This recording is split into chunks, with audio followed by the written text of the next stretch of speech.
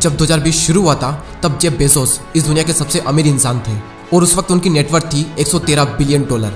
और उसी time Elon Musk की नेटवर्थ थी 27 बिलियन डॉलर।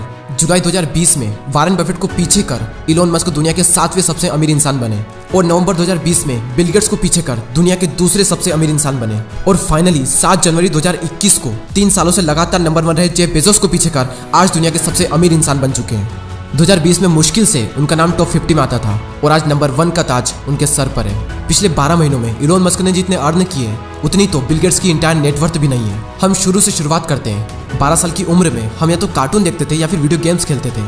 और वहीं दूसरी ओर 12 साल की उम्र में ही इलोन मस्क ने एक वीडियो गेम बना डाला और उसी गेम को 500 डॉलर में एक वीडियो गेम कंपनी को बेच भी दिया। इलोन बचपन से ही बाकी बच्चों से तेज और इंटेलिजेंट थे और इसीलिए बाकी बच्चे उनके साथ बुरा बर्ताव करते थे। इलोन बताते हैं कि स्कूल में उनका कोई भी फ्रेंड नहीं था और इसीलिए उन्होंने बुक्स को अपना बेस्ट फ्रेंड बनाया और उठते, बैठते, जागते दिन के पंद्रह पंद्रह घंटे तो वो सिर्फ़ बुक्स ही पढ़ते रहते थे। बचपन में इनके माता पिता को और बाकी लोगों को ये लगता था कि इलोन मस्क को कम सुनाई देता है, लेकिन सच तो ये था कि ये किसी की सुनते ही नहीं थे, क्योंकि इनका फोकस इतना तगड़ा था कि जब ये किसी एक चीज़ पर फोकस करते थे तो बाकी सारी जगहों से इनका ध्यान हट जाता था। जहाँ एक नॉर्मल इंसान हफ़्ते के 40 से 50 घंटे काम करता है, वहीं दूसरी ओर इलोन मस्क हफ़्ते के 100 घंटे काम करते हैं और ये अपने काम से कभी भी हॉलीडे नहीं लेते हैं। ये किस्मत का नहीं बल्कि पागलपन का खेल है और ये पागलपन नहीं बल्कि महापागलपन है। और इसी महापागल ने वो करके दिखाया जो कोई करने की सोच भी नहीं सकता। इन्होंने प्रॉब्लम्स के सोल्यूशन निकालने के लिए कई सारी कंपनीज़ खड़ी कर दी।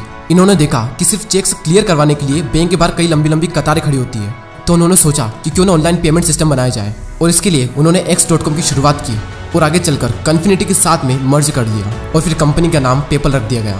ईबे ने पेपल को 1.5 बिलियन डॉलर में खरीदा, जिसमें से इलोन मस्क को 180 मिलियन डॉलर्स मिले। और इस वक्त उनकी एज थी सिर्फ़ 30 साल। अगर वो चाहते तो अपनी लाइफ को एंजॉय करने के लिए ये पैसा लगा सकते थे। लेकिन नहीं, उन्होंने इस पैसे को अपनी नई कंपनीज़ में लगाया और उन्होंने एक और नई कंपनी की शुरुआत की, जिसका नाम था स्पेस उस टाइम रशिया रॉकेट की टेक्नोलॉजी में बहुत ही अच्छा था और इसीलिए इलोन मस्क रशिया गए रॉकेट खरीदने के लिए। लेकिन वहाँ पर इनका बहुत ज़्यादा मज़ाक बना और वहाँ से आने के बाद में इन्होंने सब कुछ खुद ही सीखना शुरू कर दिया बुक्स पढ़ पढ़कर जब इन्होंने अपना पहला रॉकेट लॉन्च किया तो वो फेल हो गया लेकिन वो यहाँ नहीं रुके। उन्होंने दूसरा रॉकेट लॉन्च किया, जो स्पेस में तो चला गया, लेकिन ऑर्बिट में नहीं जा पाया।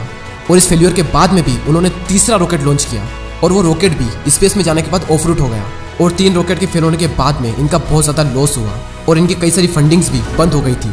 और इसी वजह से नासा भी इनके साथ डील नहीं कर रही थी। लेकिन ये नहीं रुके, और फाइनली इन्होंने अपना चौथा रॉकेट लॉन्च किया, और इनका चौथा रॉकेट चल पड़ा।